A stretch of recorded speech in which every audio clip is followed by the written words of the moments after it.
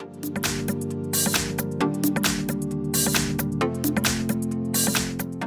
Hi everyone, in front of me I've got Samsung Galaxy Z Flip 3 5G and let me share with you how to reset network preferences on this device. So first of all we have to enter the settings and now let's scroll down to the very bottom and tap on general management. Here we've got reset option so simply enter and as you can see on the second position we've got the option we're looking for so let's tap on it.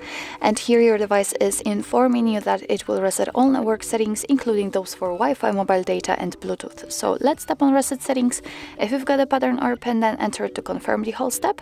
And here we've got the information that this uh, action cannot be undone. So just tap on reset if you are ready. And here we've got the information that the network settings have been reset successfully. So actually this is it. This is how to reset network preferences in your Samsung Galaxy Z Flip 3 5G.